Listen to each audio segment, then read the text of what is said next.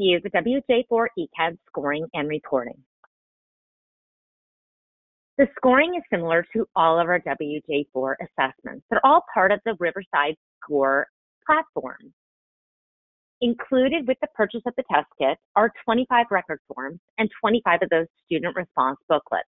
The record forms each provide one credit in the online scoring platform.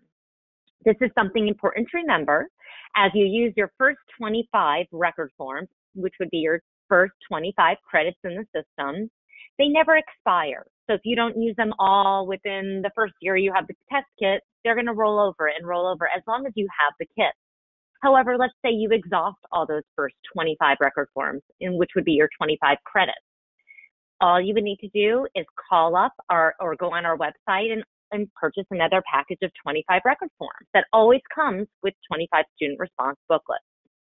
The credits are added to your Riverside Score account. If you're already a user of a WJ4 assessment and have a Riverside Score account, you can always add this test to it. That provides you with one single username and one login. You're able to access all of your WJ4 assessments right there in one place. There's also the ability to add on for an additional charge the WJ4 WIP program. And we're going to briefly go over that as well in a few slides. Every score that's that's run on this platform for the WJ4 ECAD is based on age-based norms. There are no grade-based norms because grade-based norms were not not run during the standardization of the WJ4 ECAD because not every student was in a formalized educational setting during this assessment. Knowing that this is a young age group, you have some kids who might be in a home daycare, a home preschool, they might be in a more formalized preschool. There's just so many different settings that a student could be in. So just know that you are only able to run a report based on age-based norms. Some scores available are your raw scores. Um, those are not reported out on the report itself, but you use those and you input them into Riverside Score to get age equivalents. You can get W difference scores, relative proficiency index scores, developmental zones, percentile ranks, standard scores, and delay scores, both month delay, percent delay, and standard deviation delay. Here is an example of a basic score report that's included with your WJ4 ECAD. This is a table of scores based on a student who would be five years, one month.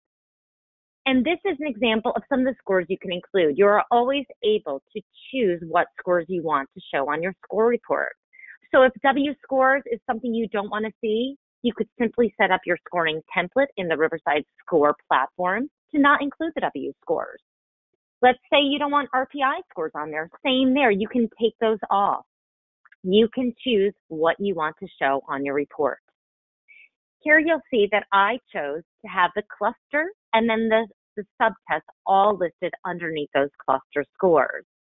So when I'm looking at the GIA, the early development GIA for this five-year-old student, I would see that the student has a standard score of an 84 with a band of 81 to 86, and that places them in the 14th percentile rank band for their for their age. This would be a classification of low average. This is a way to organize your testing results. And remember, this is free reporting that's included with your WJ4 ECAD kit purchase.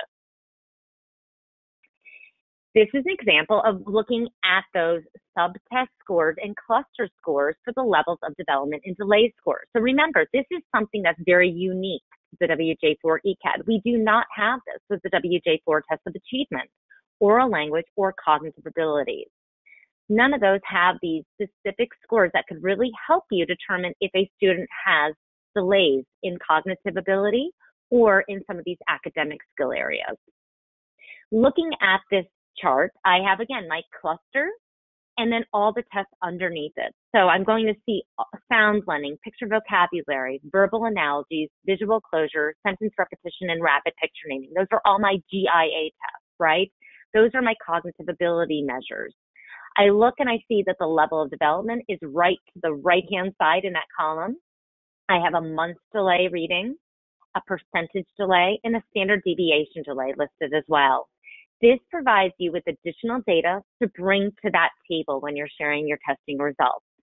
Beyond just standard scores and percentile ranks, this really can resonate with not only teachers, parents, but anybody else who needs to service that student and and measure their progress as you intervene with different uh, interventions within the classroom or setting.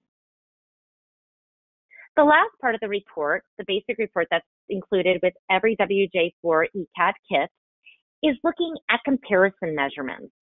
So thinking about your GIA, much like we do with any of our tests, and comparing it to the academic ability or the academic achievement that this student has on the WJ ECAD. That's the really nice thing about the ECAD. Everything's in one place. You can test not only your GIA and get a good idea of their cognitive skills, strengths and weaknesses in those areas. You can also then compare that directly to three tests that are within the WJ4 ECAD. So you're able to really kind of do apples and apples at this point, right? You're using the same test. So what I see here based on the students that I tested five years, one month, early academic skills, the actual score when we average all those tests together is 106. If the system was using the GIA from the ECAD, the predicted score is an 88.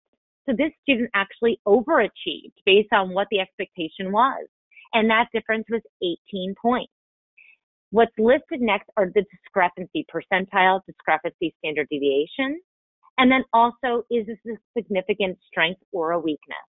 This is going to help you again as you're sharing those testing results with the people at the table discussing the student, how to program effectively for them. Again, all of these testing results that I've just showed are part of the purchase of the kit. This is included. WJ4ECAD also has a score interpretation chart, which can help you to share this with other people who are looking at the test results and also to help yourself to understand where these scores falling. This is an example of where our criterion reference interpretation of RPI scores would fall based on ranges the ECAD standard score interpretation, which shows you the standard score range, the percentile rank range, and the classifications, as well as the W difference interpretation chart at the bottom of the page. If you're looking to do a lot more comprehensive reporting, if you're looking to build interventions into your reporting, all of that's available. However, it's available at an additional charge. We do have a program that's called the Woodcock Johnson 4 Interpretation and Instructional Interventions Program. It's fondly known as the WIP. This links WJ4 results to interventions. This program, if added to your basic scoring account for that additional charge, can help you to write and facilitate report writing so you can focus on interpretation and program planning. This program, if added to your basic scoring account for that additional charge, would be applicable to the WJ4 Achievement, Oral Language, Cognitive, as well as the WJ4 ECAD. So you're able to run comprehensive reports on all four of those batteries. Comprehensive report options would be included as well as qualitative checklists. The program actually works where it detects where there are weaknesses in a profile and what it provides to you are hundreds of formative and evidence-based interventions, and it provides an interpretive overview and a narrative of scores. More detail can always be included with the test appendix, and if selected, checklists and evidence-based informative interventions can also be included.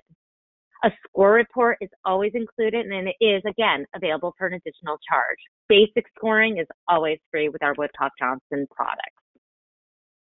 Just to give you some examples of the WJ WIP program for the ECAD, this is an example of recommendations and instructional interventions. This would be populated into your report. In this example, this is Polly, and Polly has some areas that popped up as weaknesses for her in her profile using the ECAD. So instead of having to search through books and sift through research, I can enter in my raw scores into a program, have a report completely written for me, editable, so I can add my own voice to the report or take things out of the report that I may not want there. But also, I'm going to get all these interventions, which are going to be so impactful for this young student that has this very young window of opportunity to really intervene and make a difference in their educational journey.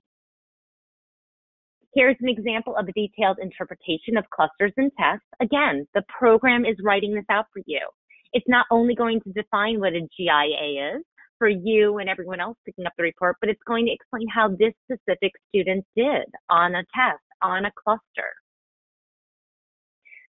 For additional information on pricing on the WJ WIP reporting system, for again, the WJ ECAD and all of your WJ programs, you can visit our website for more information. In summary, the WJ4 ECAD is an assessment that's looking at early cognitive and academic development skills. The age range is two years, six months through seven years, 11 months, with an extended age range of eight years of age through nine years, 11 months. Items and artwork are specifically designed for the young children. They captivate them, they keep them engaged longer. There's better item density than the WJ4, and it's a single easel test booklet. This ECAD is co-normed with the WJ4 test batteries and it provides easy scoring and reporting, providing valuable data to help assess young children, determine a student's cognitive and academic skill profile, and help with goal development and educational planning.